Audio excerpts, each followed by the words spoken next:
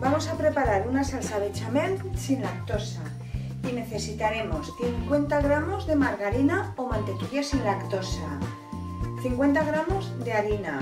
Y luego sobre unos 600 mililitros de leche, pero esto es muy relativo, puesto que depende lo líquida que nos guste la bechamel y, y la harina lo que absorba de líquido.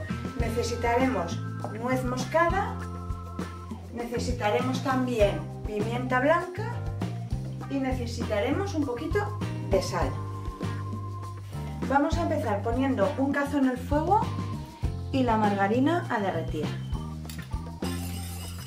Hemos derretido la mantequilla a fuego medio, que no esté muy alto para que no se nos queme. Y ahora le voy a añadir la harina. Y la vamos a dorar un poquito.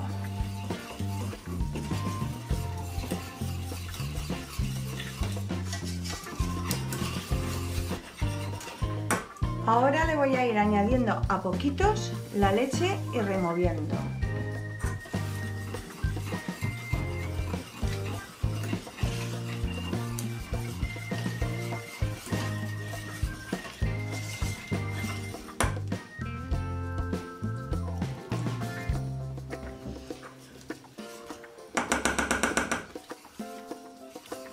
Si le añadimos la leche a poquitos es más fácil controlar que no se nos hagan muchos grumos y que luego nos quede una bechamel bien lisa.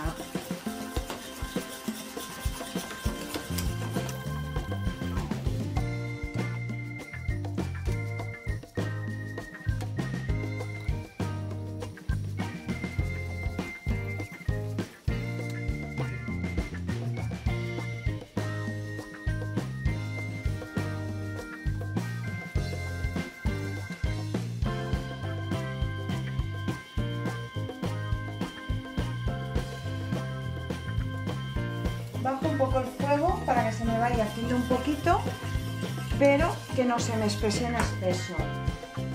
La pimienta blanca.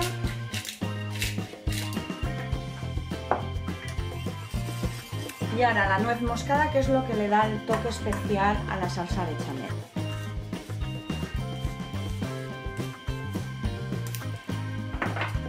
Para los inapetentes, la nuez moscada abre el apetito si no lo sabíais.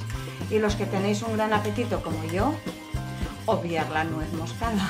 Espero que os haya gustado esta receta. Si es así, pues ya lo sabéis.